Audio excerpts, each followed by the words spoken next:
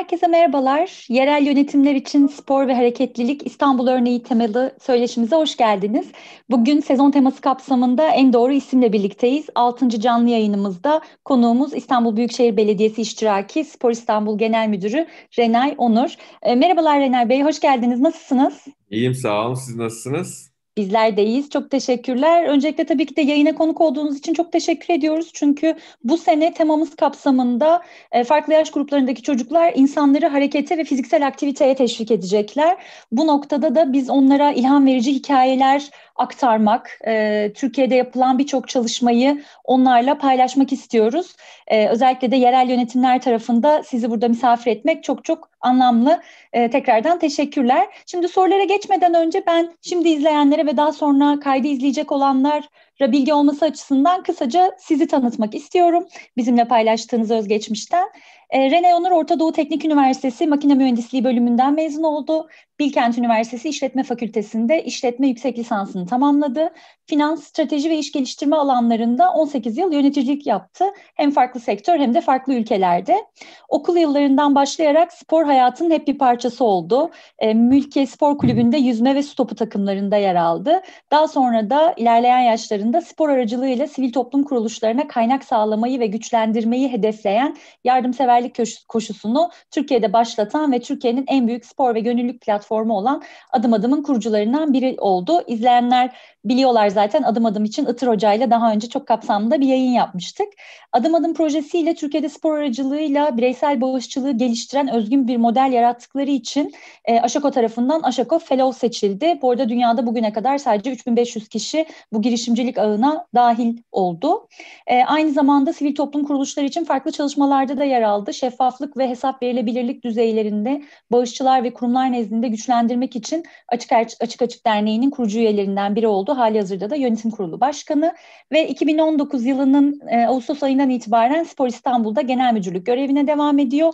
Aynı zamanda da Olimpiyat Oyunları Hazırlık ve Düzenleme Kurulu üyesi Renay Onur. E, hemen de ilk soruyla başlayalım. Aslında biyografide kısaca e, ipuçları aldık ama spor sizin için ne demek?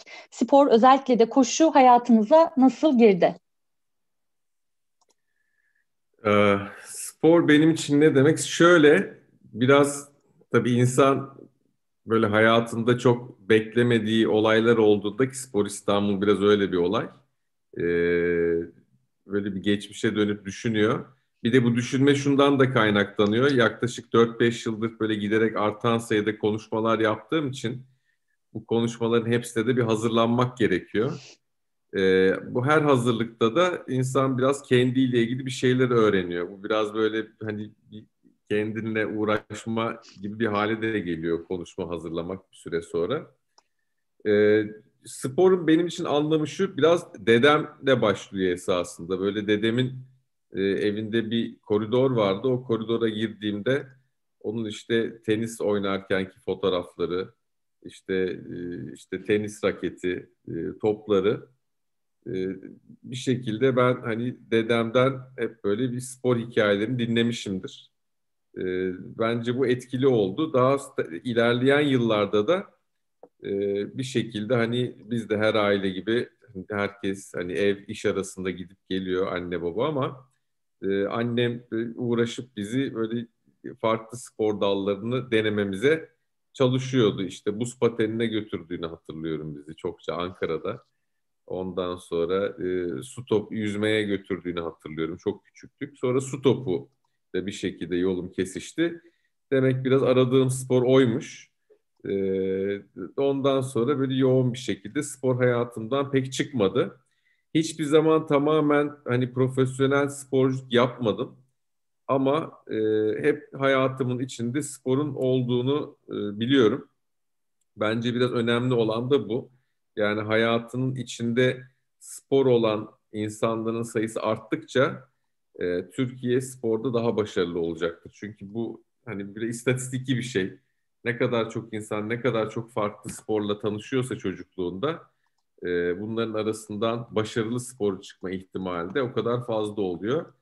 Her şeyden önemlisi de ben sporun insanlara çok e, farklı ve bir toplumda yaşamak için gerekli olan değerleri de kazandırdığına inanıyorum. Yani arkadaşlık, saygı, yaptığın işi daha mükemmel yapmak, e, kazanmak, kaybetmek değil, yaptığın işten zevk almak gibi bence e, herkesin yaşaması gereken şeyleri böyle çok hızlı bir şekilde yaşanabileceği yerler spor ortamları.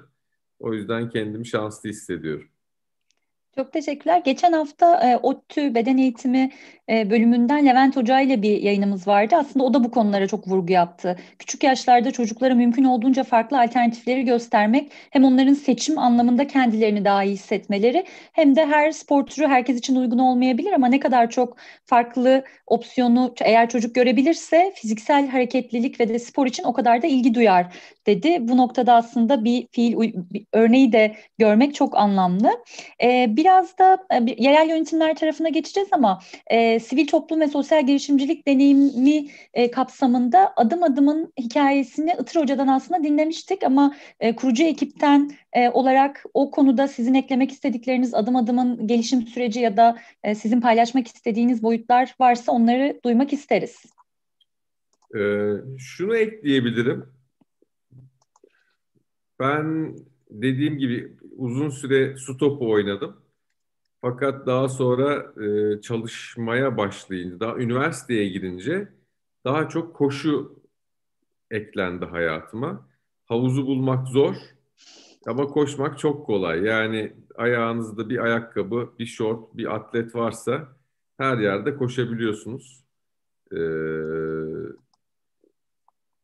hiç yarışmaya katılmamıştım ilk yarışmaya katılmaya karar verdiğimde o da hani bir deneyim diye düşündüm İstanbul Maratonu'nun 15 kilometre etabını. İlk sene bayağı hazırlandım ona. Katıldım, bitirdim. İkinci sene böyle bir aynı yeri bir daha koşmak bana bir biraz anlamsız geliyordu. Yani hani ben tamam köprüyü geçtim bir kere, yaptım, bitirdim. Ee, o arada karşıma eşi yurt dışında yardımseverlik koşusu yapan birisi çıktı. Ya dedi neden yardımseverlik koşusu yapmıyorsun dedi. Böyle insanın bazen harekete geçmesi için bazı şeyleri farklı ortamlarda, farklı kişilerden, farklı şekillerde duyması gerekiyor. Buna çok inanıyorum. Pazarlamacılar da öyle diyor. Yani diyorlar ki e, bir ürünü satabilmen için tüketicinin seni yedi farklı şekilde görmesi, duyması gerekiyor diyorlar. Bence insanın harekete geçmesi için de öyle. Neyse o söylediği anda benim kafama tak diye oturdu. Tamam dedim benim yardımseverlik koşusu yapmam gerekiyor.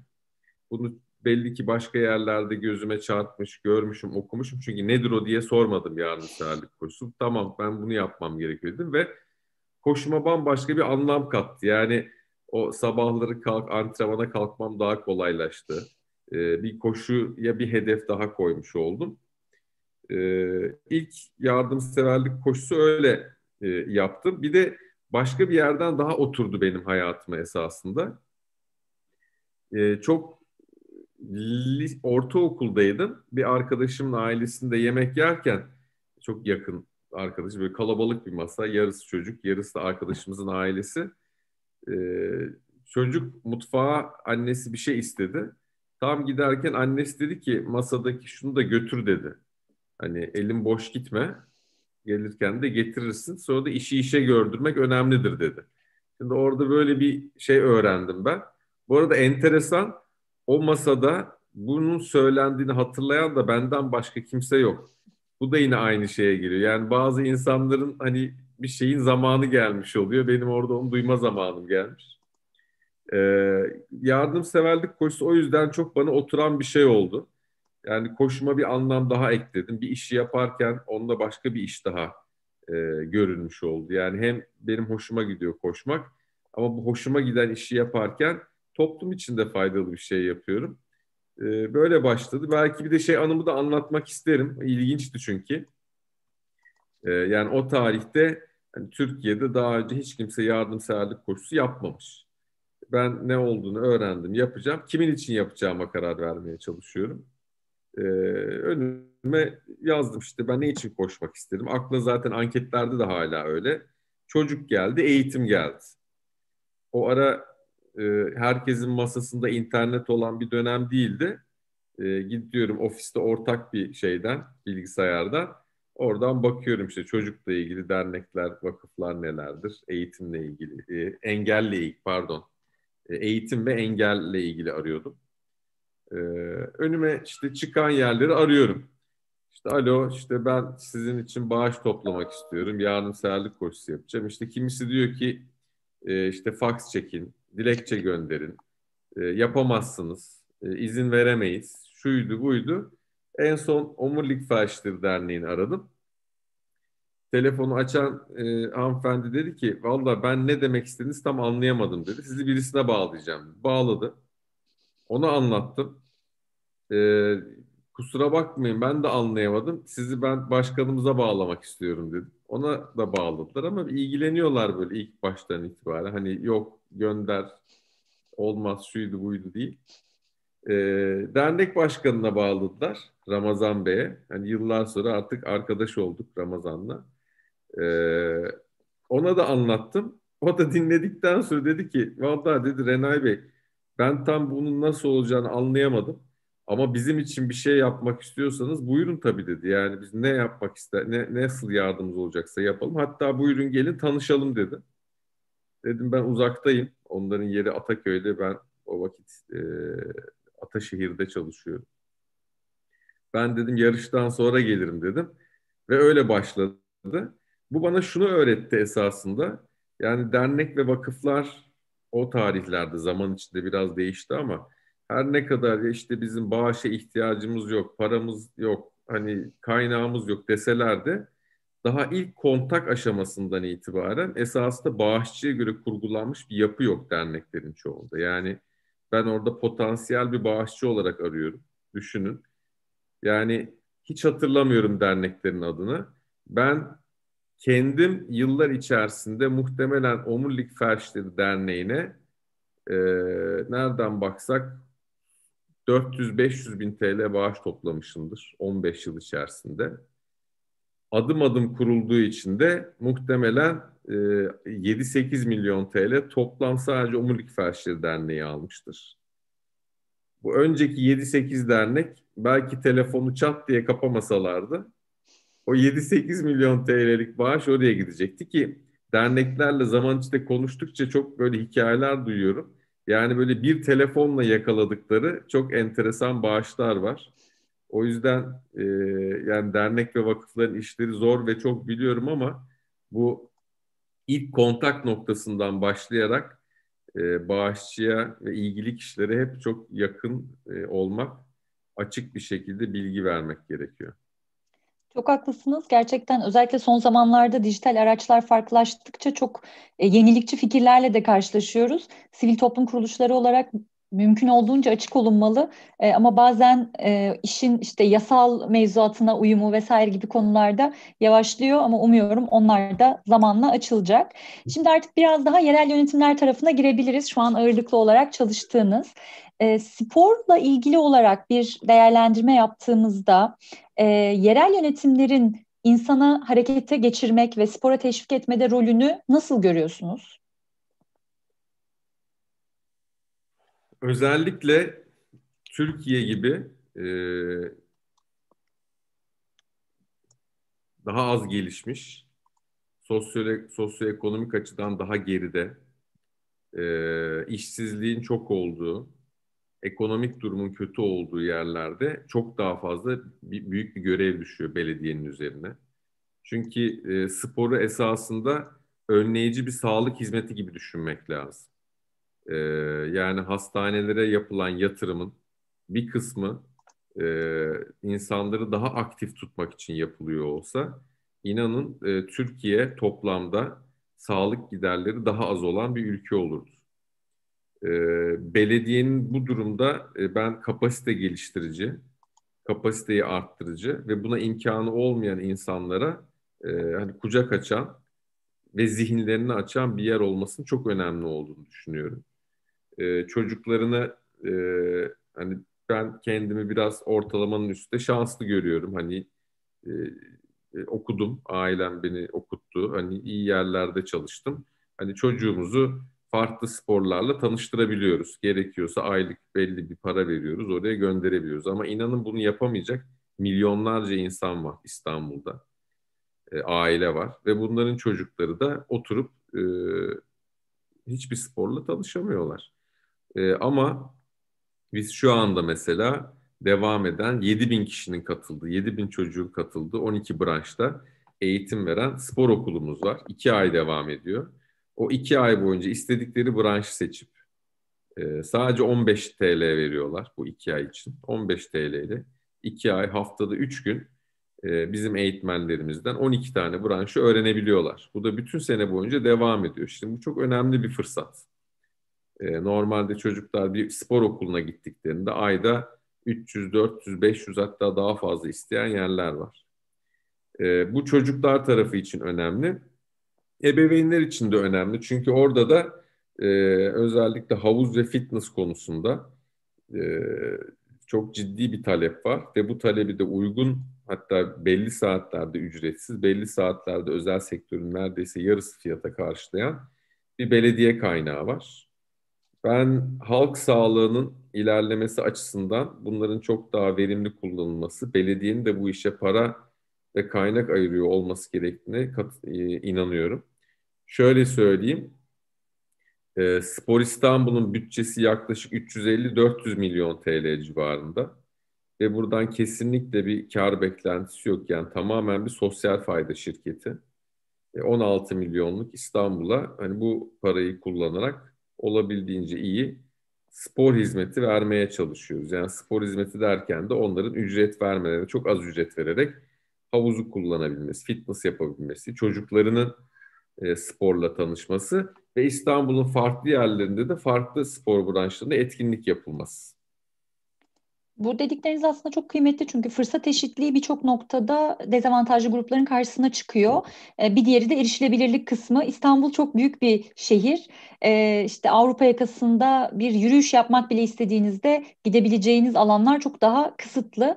O yüzden bunların daha ilçe bazlı ya da daha küçük yerlerde ayrıştırılmasında yerel yönetimlerin e, çok da büyük rolü olduğunu e, düşünüyoruz ki zaten siz de bu konuda e, çok da güzel paylaştınız. Bir de söyledikleriniz üzerinden ben böyle arada bizim bilim kahramanlarımıza da dikkat etmeleri için mesajlar vereceğim. Çünkü onlardan aslında toplumdaki her bir bireyin her yerde bu iş yeri olabilir, e, öğlen molaları olabilir, okul olabilir ya da e, işte günlük yaşantıda olabilir. Her yerde harekete geçirecek yenilikçi fikirler bulmaları gerekiyor. Bazen bir otobüs durağında e, basit bir e, kurguyla bir etkinlik planlayabilirler. Bazen okulun bahçesinde bir şey yapabilirler. Atıl mekanları daha iyi hale getirebilirler. O yüzden onların proje fikirlerinin e, yerel yönetimlerin ihtiyaçları ya da yerel yönetim hedefleri noktasında önemli olduğunu düşünüyorum. Biz bugün burada sizden İstanbul'a yönelik bazı bilgiler alacağız. Ama e, bizim birçok şehirden yani 70'i aşkın 79 şehirden katılan e, takımlarımız var. Onların da kendi yerellerinde bunları düşünmesi önemli. E, bu yerel yönetimlerle ilgili sorudan önce bir İstanbulluları aslında sizden dinlemek isteriz. İstanbullular hareketi seven, hareketli yurttaşlar mı, hareket eden bireyler mi? Yani sunduğunuz imkanların İBB'nin tesislerini e, düşündüğünüzde aktif olarak kullanılıyor mu? Kullanılıyor. Yani bir, şuradan başlayayım. İstanbullular, daha doğrusu sıfırdan başlayayım.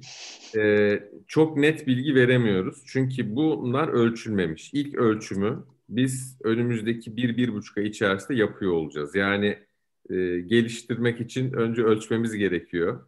E, ölçüyor olacağız ama yani örneğin bunu Londra benim bu konularda çok örnek alma, aldığım bir şehir. Londra'da yaklaşık 4-5 yıldır her sene bu ölçülüyor. Yani ortalama bir e, Londra yaşayanı e, haftada kaç dakika aktif, hangi sporları yapıyor, cinsiyeti ne, cinsiyete göre bunun dağılımı, sosyoekonomik durumuna göre dağılımı, e, Londra'nın farklı e, ilçelerine göre e, dağılımına bakılabiliyor. Bir, bunu ölçüyor olacağız. Ya yani önümüzdeki sene ben size çok daha net, çok daha güzel gelişim bilgilerini de verebiliyor olacağım. Şimdi tabii yaşayan birisi olarak hissiyatımı söyleyeyim ve bir iki rakam vereceğim. Maalesef hareketli bir şehir değil e, İstanbul. E, yani ulaşım için e, yaya olmayı kullanan kişiler böyle az bir miktarda yüzdelerin artmasına sebep oluyor ama e, çoğu insanın hareketli olmadığını söyleyebiliriz. E, obezitenin arttığı bir şehir, şeker hastalığının arttığı bir şehir, 16 yaş üstü her dört İstanbul'un birisinde en azından bir tane kronik hastalık var. Şimdi bu çok ciddi bir tablo. Ee, ve artık Türkiye'nin de e, Selçuk Şirin Hoca'yı böyle takip ediyorsanız o bile çok söylüyor. E, artık Türkiye'nin yaşlanmaya başladığı noktaya geldik. Yani o eğrinin biz artık önümüzdeki yıllarda Türkiye'nin sürekli yaşlandığı bir e, dünyaya giriyoruz. O yüzden aktif olmanın daha önemli olduğu bir dönemdeyiz. Spor İstanbul'un da kendine dert edindiği iş zaten İstanbul'ları daha aktif yapmak. E, değiliz ama yapmaya çalışıyoruz. Şöyle bir sporcu sayısı verebilirim ama size. ilginç. Bunu geçen hafta karşılaştırma yapacağım rakam buldum. Çünkü esasında hareket arttıkça farklı spor branşlarıyla tanışıyor insanlar. Bunların da bir kısmı sporcu oluyorlar. Bu sporcuların da bir kısmı elit sporcu oluyor. Elit sporcuların bir kısmı da uluslararası başarı kazanıyorlar. Şimdi bizim bu tarafımız çok zayıf olduğu için tepeye doğru gidemiyoruz. Ve o yüzden sporda da başarısız bir ülke oluyoruz. Ee, İstanbul'da aktif sporcu lisansı olan 200 bin kişi var. 16 milyonda 200 bin kişi. Şimdi Berlin rakamını veriyorum. Berlin'de 3.6 milyon kişi yaşıyor. 3.6 milyon kişide 700 bin aktif spor lisansı var. Ee, işte bu sporda neden Alman? Hani vardır futbolcular severler. Herkes oynar ama Almanya kazanır derler. E, bunun bir sebebi var. Yani çünkü şu anda Berlin'de yaşayan her dört kişiden birisi aktif olarak bir sporla uğraşıyor bizim de yavaş yavaş e, bunu İstanbul'u oraya götürüyor olmamız lazım. İstanbullular olarak atmamız gereken çok adım var ama aslında biraz böyle farkındalık ve imkanların artması umuyorum bunları da e, teşvik edecektir. Biraz ee, fırsat da yaratmamız yani şöyle evet. bizim zihniyet de değiştirmemiz gerekiyor. Şimdi bizi tam olarak kimlerin dinlediğini bilemiyorum. Ee, ama eminim e, bizi dinleyenler ya da bizi dinleyenlerin aileleri, anneleri, babaları günde iki buçuk üç saatlerini şuna bakarak geçiriyorlar. Hafta sonları belki bir saat iki saatlerini AVM'de geçiriyorlar. Ama biz İstanbul'da yaşıyoruz. Yani Antarktika değil, çok şanslıyız. 8-9 ay biz İstanbul'da yürüyebileceğimiz, dışarıyı kullanabileceğimiz bir şehirdeyiz. Ee, çocuklar olarak da biz ebeveynlerimizi taklit ediyoruz. Yani benim annem babam oturup bütün gününü telefona bakarak geçiriyorsa o çocuk da ona bakarak geçirecek. Yani annesi babası telefona bakan bir çocuk evde keman çalıp jimnastik yapıp e, kitap okuyamaz yani çocuklara kızamayız. O yüzden esasında değişim ebeveynlerde başlıyor. E, belediye olarak da bizim o çocuklara ve ebeveynlere de kolaylaştırıcılık sağlamamız gerekiyor. E, çok katılıyorum. Bir alışkanlıklar olarak e, zaten son zamanda teknolojinin ilerlemesiyle de daha ev içi aktivitelerinde bir e, artış oluyor. E, bu da aslında çocukların geçirdikleri zamanları da dijital oyunlar üzerinden daha çok geçirdikleri, arkadaşlıkları da öyle kurduğunu gösteriyor. Ama tabii fiziksel aktivite çok daha bambaşka bir şey. E, işte bu belki de yerel yönetimlerin imkanları arttıkça herkesin daha kolay erişebildiği, daha yakın işte yürüyerek gidebilecekleri spor alanları arttıkça bunda artış olacaktır diye düşünüyorum.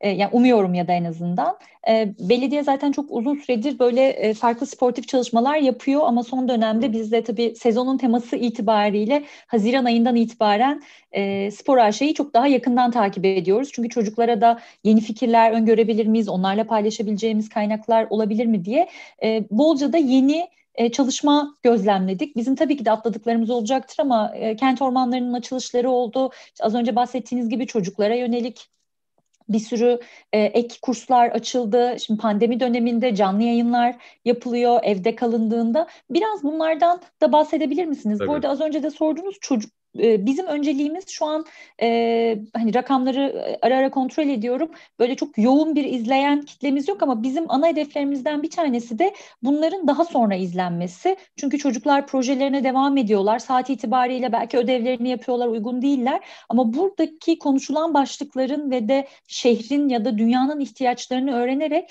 kendi projeleri için daha sağlam e, temeller edinsinler istiyoruz. O yüzden e, ağırlıklı olarak ortaokul ve lise öğrencilerini hedeflediğimizi söylüyoruz söyleyebiliriz. Tabii bolca da gönüllümüz, gencimiz var ve de bir farkındalık hareketi var. E, hedef kitlemiz biraz o yönde. Onu da yanıtlamış olayım ama biraz İBB'nin çalışmalarından, faaliyetlerinden, belki pandemi öncesi, pandemi sonrası en öne çıkanlarını sizden dinleyebilirsek çok seviniriz. Spor İstanbul olarak değil mi? Evet. Evet. Şimdi bizim pandemi öncesinde benim çok önem verdiğim bir proje sabah sporları. Yani e, tesis dışında İstanbulluları e, aktif hare yani hareketli bir hayata hazırlamak, hareketli bir hayatta tanıştırmak. E, nasıl yapıyoruz? Bizim eğitmenlerimiz var. 620 tane eğitmenimiz var bizim Spor İstanbul'da. E, İstanbul'un farklı park, meydan ve bahçelerinde e, şu anda 60 noktaya çıktık. 60 noktada, e, 30 ilçede her haftanın 3 günü e, sabah sporları yapılıyor. E, bunların sayısı pandemi öncesi 20 civarındaydı. Biz çok hızlı bir şekilde bir kere bunu arttırdık. Çünkü pandemi neyi değiştirdi? Artık insanlar tesis içine girerken daha dikkatli olacaklar. Zaten biz de tesis içine koyduğumuz hijyen standart yüzünden daha az insanlar alıyoruz. Daha az insan alıyoruz. Sabah sporu bir kere hayatımızı çok değiştirdi ama beni çok heyecanlandıran bir iş. Çünkü ben de tesis içine girerek spor yapan birisi değilim. Yani İstanbul bize birçok imkan sunuyor. Farklı park meydanları ve boğazıyla. E, buralara gitmek varken ben niye girip kapalı bir yerde spor yapayım? Niye bir makinenin üzerinde koşayım? E, bir yere doğru yürüyeyim, bir yere doğru koşayım. O da İstanbul olsun. Ben tercih ederim. Bunlar artıyor. İki, 14 ee, Mart'ta tesislerimizi kapadık. 17 Mart'ta çok hızlı bir şekilde ilk yapanlardan birisi de olabiliriz. Ee, Instagram üzerinden her sabah saat 11'de e, fitness dersleri yayınlarına başladık. Çok başarılı gitti. Hatta yani biz bunu niye daha önce düşünmedik dedirtti bize. Ee, koronanın böyle bir faydası oldu. Hani olumlu yönden baktığımızda. Hala devam ediyoruz. Bırakmayacağız büyüterek devam edeceğiz bunu. Yani çünkü herkes pandemi geçsin geçmesin. Herkes her zaman bir tesise gelmek istemeyebilir. Yola çıktın, otobüse bindin, arabaya bindin, indin, bindin, geldin. Belki çıkacak, açacak ekranını. Evinde yapmak isteyecek. Bizim ona bu hizmeti vermemiz lazım. Ve çok enteresan e, şeyler de var. Yani bir sabah sporları, iki bu Instagram yayın dediğimizde biz bu ikisinde yaklaşık bizim orta ölçekte bir tesisimizde ulaşacağımız kadar kişiye ulaşıyoruz. Şimdi bizim orta ölçek tesis dediğim şey şu. 25-30 milyon TL inşaat yapılmış. Her ay, her yılda 1,5-2 milyon TL'de bakım masrafı yani verilen bir tesisten bahsediyorum. Şimdi ben bütün bunları yapmıyorum. Bunun yerine daha esnek, çok hızlı yerini değiştirebileceğim, formatını değiştirebileceğim eğitmenlerim sayesinde hizmet veriyorum. Daha az maliyetli, daha çabuk ölçeklenebilen, daha çok ölçeklenebilen bir sistem. Pandeminin bize en büyük etkileri bunlar oldu esasında. O pozitif etkiler. Bu e, pandemi gerçekten hepimizin aslında hayatını çok değiştirdi. Biz de dernek olarak e, böyle çok yoğun fiziksel aktiviteler, fiziksel etkinlikler, buluşmalar yapan bir kurumuz. Böyle 500-600 çocuklu büyük etkinlikler bir anda e, biz bunları dijitalde nasıl yaparız diye biz de çok e, hem dertlenmiştik hem nasıl çözüm bulacağız diye düşünmüştük. E, ama bazen daha farklı yöntemlerle başka bir yerden bakmaya da fırsat veriyor. E, ben de bir hani İstanbul'da yaşayan biri olarak özellikle hem sabah sporlarını hem de e, diğer dijital Instagram üzerinden yapılan yayınları da çok anlamlı buluyorum. Birkaç defa yorumlarla birlikte okuma fırsatım oldu. İnsanlar da çok memnun çünkü kullanılan evet. araçlar da evde bulabilecekleri araçlar işte su şişesi e, ile bir mat olmasına gerek yok. Sanıyorum o motivasyon da insanlara iyi geliyor. Çünkü böyle spor yapmak deyince herkes çok daha böyle maliyetli ürünler, kıyafetler, ayakkabılar, işte daha eğer işte kayak gibi sporlarsa çok daha farklı malzemeleri düşünüyor ama fiziksel aktiviteden bahsediyorsak hareket etmek çok da maliyetli olmayabilir. E, peki spor AŞ olarak e, herkesin spor Spor İstanbul çok pardon. Niye onu öyle kalmış eski, aklımda? Eski adı. Eski adı tamam ondan olmuştur. E, sporun herkes için erişilebilir olması için öncelikli hedefleriniz var mı? İşte yaşlılar, e, çocuklar, gençler, e, çalışmayan yetişkinler gibi e, bunu aslında biraz bizim bilim kahramanlarımızın e, projelerini seçerken ihtiyaca yönelik olarak düşünmeleri için de bir e, fikir olabileceğini e, düşünerek soruyoruz, sormak istiyoruz.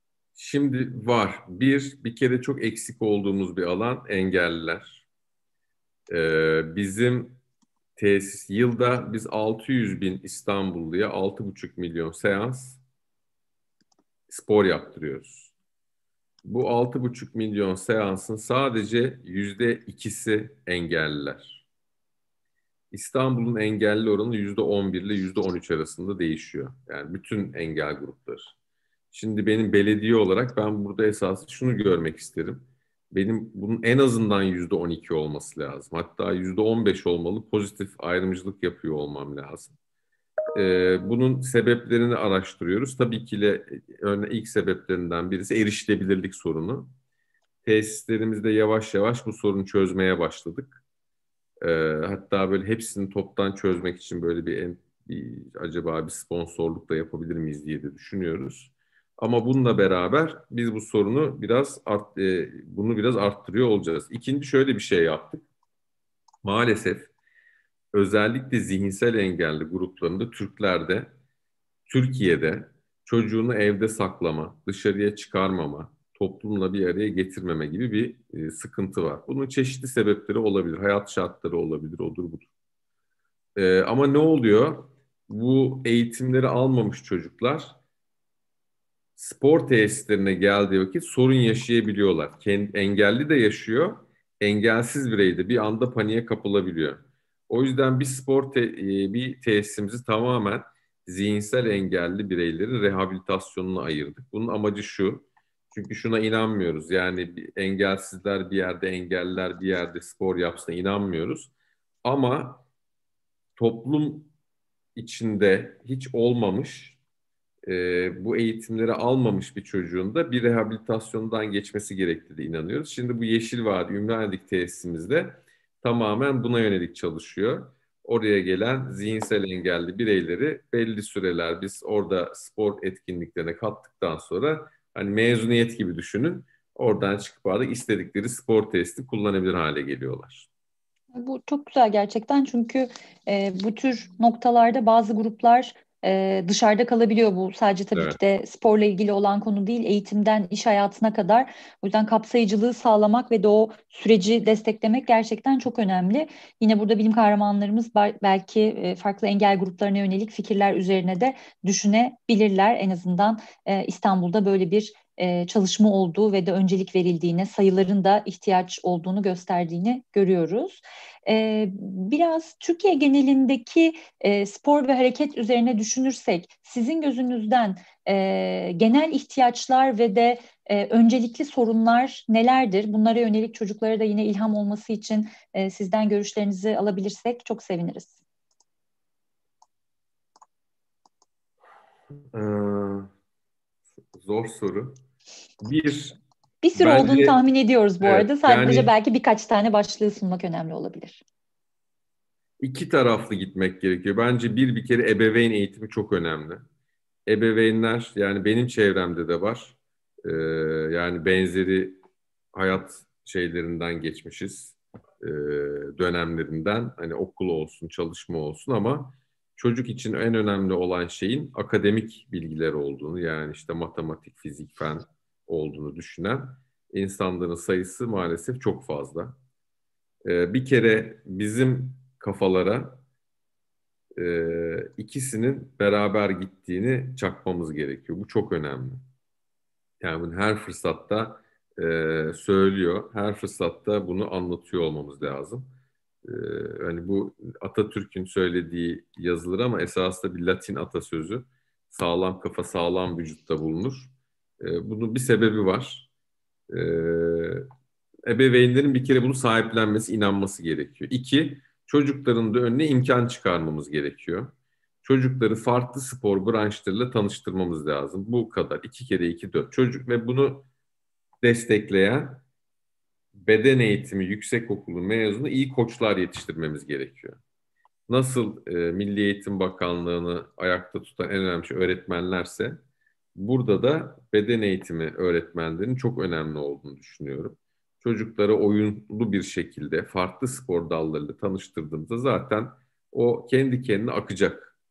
Ee, yani özetlemek gerekirse bir, bilinçli ebeveyn, iki, çocukların önüne e, ortamlar çıkarmamız gerekiyor. Üç, bunu kolaylaştıracak ve başarıya ulaştıracak kişi de başarılı e, beden eğitimi spor yüksekokulu mezunu koçlar. Biz Spor İstanbul'da beni heyecanlandıran bir projede 3 e, ay önce başladık. Şu anda kendi içimizde bir akademi kurduk. E, hani kaç sene önce mezun olursa olsun, nerede hangi okuldan mezun olursa olsun, hangi besyodan, hepsini biz şimdi kendi içimizde bir hem pedagojik eğitim, e, fizyonomi eğitimi, değerler eğitimi, e, olimpik değerler, sporun değerleri bir eğitimden geçiyoruz ve böylece bizim bütün e, eğitmenlerimiz aynı dili konuşuyor ve çocuklarla aynı şekilde iletişim kuruyor olacak. Bunun da önemli olduğunu düşünüyorum. Çok haklısınız. Levent Hoca'yı ikinci defa anacağım ama geçen hafta e, bu özellikle beden eğitimi müfredatları, okulda yapılan çalışmalarla ilgili olarak çok güzel ve e, detaylı bilgiler verdi. E, geçen haftadan beri e, böyle bol bol aslında yani spor dersi en azından benim kendi dönemimde işte bazen boş geçen, e, boş geçerse de ne güzel olduğu düşünülen bir ders olarak e, kalabiliyordu. Bu tabii ki de her zaman böyle değildi ama e, özverili öğretmenlerle çocukları daha destekleyici bir şekilde yürütüldüğünde katkıları yatsınamaz e, gibi duruyor. Umuyorum e, sizin projenizle de e, İstanbul'daki öğretmenlerimizle ilgili güzel işbirlikleri de olur. E, Biraz daha aslında bir son bir sorum var bu uluslararası örneklerle ilgili olarak e, sizi aslında sivil toplum tarafından da biraz tanıyoruz. E, çok böyle e, dünyayı araştıran iyi örnekleri uygun bir şekilde hani hem ülkeye getirmek hem de bunu uygun şekilde e, adaptasyonunu sağlamak için e, sürekli çalışan e, birisiniz. Sanıyoruz ki aynı şey Spor İstanbul'da da devam ediyor. E, İstanbul özelinde böyle uluslararası iyi örneklerin Türk İstanbul'a taşınması, uygulanması ile ilgili e, çalışmalar var mı? Ya da çocuklarla paylaşabileceğiniz e, böyle iyi örnek uygulamaları olur mu? Yani bir kere çok net benim örnek aldığım şehir Londra. Ee, her konuda. Ee, şu anda ben böyle Sport London diye bir e, orada da Spor İstanbul gibi bir şirket var. Çok yakından onları takip ediyorum. Onlar ağırlık tesis yönetim ve etkinlik yapmıyorlar. Daha çok böyle e, araştırma, yönlendirme, strateji tarafında ağırlar. Biz de o tarafımızı kuvvetlendirmeye çalışıyoruz. Çünkü gerçekten data yoksa, veri yoksa, bu analiz edilmiyorsa nereye gittiğimizi bilmiyoruz. Ee, yani biz bir okul açtığımızda çocuklar ne kadar etkileniyor, ne kadar faydalanıyor, hangi branşlar daha çok ilgi görüyor, hangisi ilgi görmüyor. Bunların hepsini görüyor, okuyor ve analiz ediyor olmamız lazım. O yüzden bana bir ülke söyle deseniz bir şehir. Yani şu anda hani anlamaya, kopyalamaya e, ve takip etmeye çalıştığımız şehir e, Londra diyebilirim. Kendini şu anda e, dünyanın en sağlıklı şehri olmak şeklinde e, konumlamaya çalışıyor Londra. Ve bunun için de hastanelere yatırım yapmıyor. Bunun için yatırım yaptığı şey e, Londralıların daha aktif olacağı ortamlar yaratmak. Bunu yaptığımızda inanın orta ve uzun vadede ekonomiye de çok ciddi katkıları olacaktır çocuklar için çok e, güzel bir başlangıç noktası oldu diye düşünüyorum. E, biraz son e, sorularımızın sonuna doğru yaklaşıyoruz. Yakın zamanda çok güzel bir maratonu tamamladı İstanbul ve normalinden farklı bir şekilde tamamladı. Sanal maraton oldu. 41 41 miydi 42? 41'di galiba. 42. 42. 42.sini tamamladı ve ilk defa tarihinde e, fiziksel olarak e, katılım vardı yine ama sınırlıydı. Daha çok insan kendi bulunduğu yerde mahallede bu koşuyu gerçekleştirdi. E, bu fikri aslında biz çocuklar açısından da çok önemli buluyoruz. Çünkü pandemi döneminde ya maraton yapılmayacaktı e, ya da yeni bir yöntem bulunacaktı. Aslında bir yenilikçi fikir olarak ortaya çıktı. Bize biraz bu sanal maraton e, fikrinden e, nasıl orta, ortaya çıktığından ve ilgiden bahsedebilir misiniz? Ben Tabii. çünkü adım adım tarafında e, takip ediyorum. Çok hızlı bir şekilde doldu. E, özellikle 5 kilometre kayıtları doldu. Sonra tekrardan e, koşucular e, talep ettiler. Yani böyle bir yoğunluk oldu. Sizden dinlemeyi çok isteriz. Tabii. Şimdi sanal koşuyu biz bulmadık. Dünyada zaten uygulanan bir şeydi. Ee, pandemi öncesinde de. Ee, fakat hızlı bir şekilde biz maratonu yapamayacağımızı anladığımızda e, sanal koşuyu masaya yatırdık. Dünyadaki diğer maratonlarda bunu yaptılar. Bir kısmı tamamen ertelediler, iptal ettiler. Bir kısmı sanal koşu yaptı. Bir kısmı da hem sanal koşu hem fiziki koşu yaptı. Biz bu ikisinin e, mixini yapma kararı aldık. Hem operasyonel olarak hem e, pazarlaması sebebiyle. E, tabii orada bir sürü karar var. Yani bunun fiyatlaması, hangi e, kilometre fiziki olsun, hangi kilometreler sanal olsun kendi içinde bir e, dört bilinmeyenli bir denklem.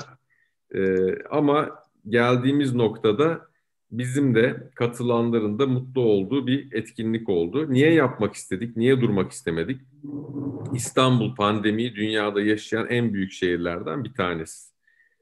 Ee, ve hayatın durmaması gerekiyor, şehrin durmaması gerekiyor, e, sporun durmaması gerekiyor. Biz bu mesajı vermek istedik ve en iyi önlemleri alarak kendimizce önce bunu yarım maratonda denedik. Çok başarılı oldu. Yani yurt dışından e, çok güzel e, tepkiler geldi. E, maraton da aynı şekilde yaptık. O da başarılı oldu. E, toplamda yani fiziki etabını 2000 kişi, sanal e, etabında e, 6000 kişinin koştuğunu söyleyebiliriz. E, ve de İstanbul Maratonu yurt dışında tanıtımı için de enteresan bir etkisi oldu sanal koşu. İstanbul dışında Türkiye'de 77 şehirde koşuldu. 25 ee, farklı pardon 40 farklı ülkede koşuldu sanal koşu. E, bu kişilere ulaşıp seneye biz mesela fiziki parkura davet edeceğiz. Onları İstanbul'a çağırıyor olacağız. E, keyifli bir iş oldu.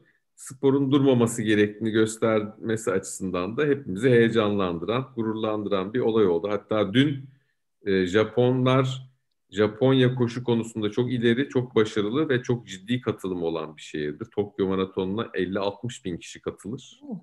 Sadece maraton koşuyorlar. Bakın hani Türkiye'deki gibi maraton Farklı parkurlar değil.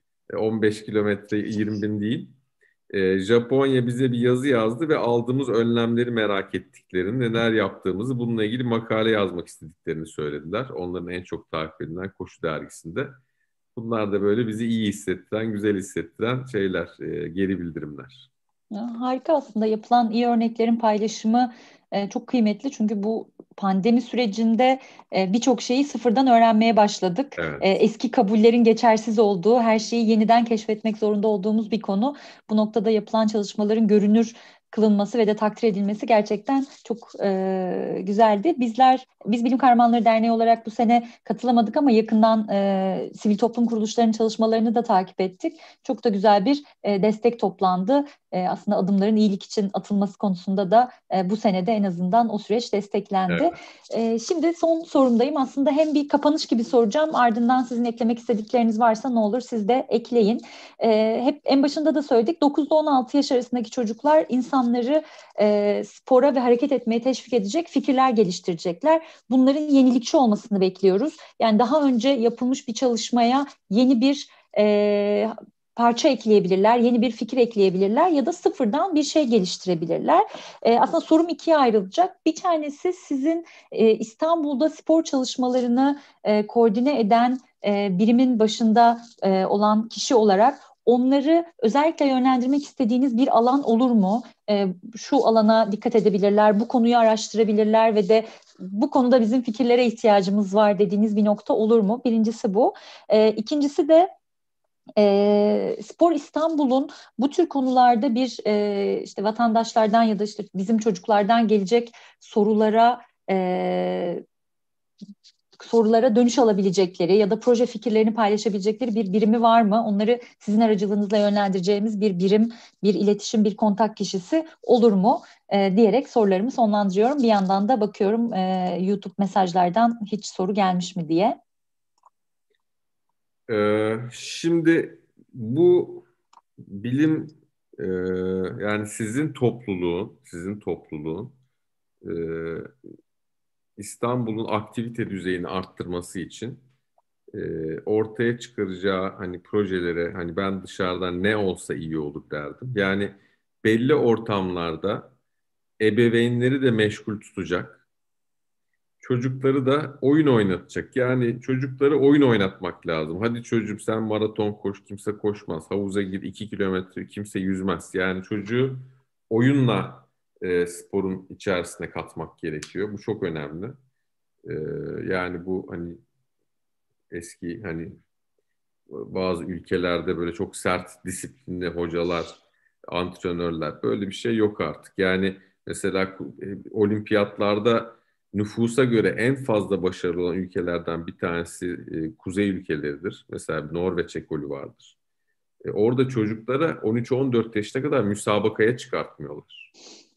Hiçbir müsabakaya, yani oyun oynatıyorlar. Kazanma kaybetmeyi e, olayından çıkartıyorlar ki çocuk 14 yaşına kadar sadece böyle e, tutkulu bir şekilde istediği sporu yapsın. Özet, bence be, parklarda, bahçelerde, meydanlarda ebeveynleri de meşgul kılacak. Çocuklara da oyun oynatacak sistemler geliştirebilirsek ben İstanbul'un aktivite düzeyini arttıran bir iş yapabileceğimize inanıyorum. Ee, şimdi belediyede kim ilgilenebilir? Gelebilecek soruların hani hiç şeyini hiç bilmediğim için böyle bir adres söyleyemiyorum. Yani burada en iyi şey 153. Ee, şöyle yani çok iyi çalışan bir sistem var orada. Yani her gün 153'e 90 bin çağrı geliyor. Bunların bir kısmı soru, bir kısmı sorun, bir kısmı e, başka konular. E, ama onlar doğru birimlere yönlendiriyorlar. Biliyorsanız ki Spor İstanbul'la ilgili bir şey, hani bana gelin, bana sorun. E, sahibini bilmiyorsanız 153'e sorabilirsiniz. Çok teşekkür ediyoruz. Biz çocuklar için bu tür çalışmaların da yani bu tür desteklerin de motivasyon sağlayıcı olduğunu düşünüyoruz. Çünkü 17. yılı programın bu sene ve 17 yıldır çocuklar gerçekten hem kendi bulundukları yerlerde üniversitelerle, yerel yönetimlerle işbirlikleri yapıyorlar. Çünkü çoğunlukla çıkış noktaları hayatlarında karşılaştıkları sorunlar oluyor. O sorunlardan yola çıkarak e, kendilerinin de deneyimledikleri ya da deneyimleyecekleri çözümler üretiyorlar. O yüzden bunları e, bir şekilde ilgililere ulaştırabilmek en azından e, paylaşmak bile onlar için çok anlamlı oluyor ki paylaşmanın ötesinde girişimlere dönüştürebiliyorlar. E, ben çok teşekkür ediyorum. E, çok yoğun olduğunuzu e, biliyoruz, takipte ediyoruz e, sosyal medya aracılığıyla. Ama bu yoğun zamanınızda geldiğiniz çocuklara bu bilgileri e, aktardığınız ve de e, onlara böyle bir kapı araladığınız için e, çocuklar adına, gençler adına ben çok teşekkür ediyorum. Bilim Kahramanları Derneği olarak da ve de bir İstanbullu olarak da burada e, sizden bu gelişmeleri dinlemek de çok anlamlıydı. E, son sözler için size bırakayım ben. Sağ sözü. olun. Ben de teşekkür ederim e, Aslı. Davet için de teşekkür ederim. E, ben böyle bu konuşmanın çok farklı yerlere gideceğine eminim. Eminim bunu dinleyen arkadaşlarımızdan birkaç tanesi gelip bakın ben parkta çocukları hareketlendirecek, ebeveynleri de keyifli zaman geçirecek bir şey buldum, bir şey kurguladım diyecek. Biz de oturup beraber onları farklı parkları koyuyor olacağız. Heyecanlıyım. Ee, dinleyenler ebeveynse hareket edin, dışarıya çıkın. Çocuklarsa da hani siz de olabildiğince farklı sporları tanımaya çalışın. Çünkü işimizi gazeteye, sosyal medyaya ve televizyona bıraktığımızda futboldan başka bir şey görmüyoruz. Bu da bizi bir yere götürmüyor. Ee, aktif olalım. Evet gerçekten çok anlamlı bir şekilde kapadık. Ee, buradan hem bütün İstanbul'a hem de e, bütün bilim kahramanlarına sesleniyoruz. Aktif olmak için proje fikirlerinizi bekliyoruz. Bir sonraki yayınımız 17 Kasım'da olacak. Ee, yine kapatmadan e, bu yayınımızı hem Instagram TV'ye hem YouTube hesabımıza söyleyeceğiz. Bütün takımların kendi akranlarıyla, diğer takım arkadaşlarıyla paylaşmasını çok çok önemsiyoruz. Tekrardan yayına geldiğiniz için çok teşekkür ediyoruz. Ee, görüşmek üzere. Çalışmalarınızda da kolaylıklar dileriz. Sağ ol, teşekkürler.